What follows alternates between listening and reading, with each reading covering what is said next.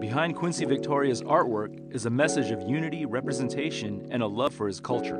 It actually started when I was really young, uh, three or four years old, because my dad was an artist. Prior to this, I was, I was I've never gone to San Diego for Comic Con, and I told myself one of my bucket list items was that I would show up to San Diego not as a as a fan, but as a, as a comic book artist. And, I, and three years ago, I was able to fulfill that dream. Looking for inspiration to create his own character, Quincy looked to his roots. Growing up, I was like, all right, if I'm going to become a comic book artist, what am I going to do?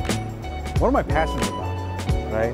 One of the one of the things that I'm passionate about is being Filipino.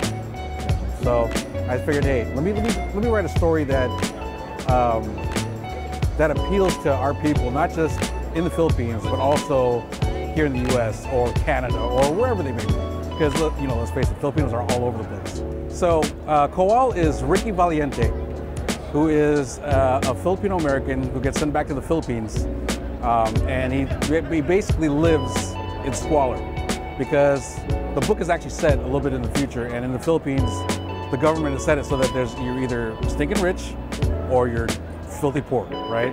So, and unfortunately, he's one of the poor guys. So imagine, so imagine Captain America, Deadpool, and uh, Robin Hood trying to save the people of the Philippines. Quincy sees Kowal as a comic book creation that can help bridge the gap between Filipinos all over the world. I want to be known as a guy that that tried to unify people. And it's, it's kind of weird that I say that. And I, I, I always talk about how prideful Filipinos are, right?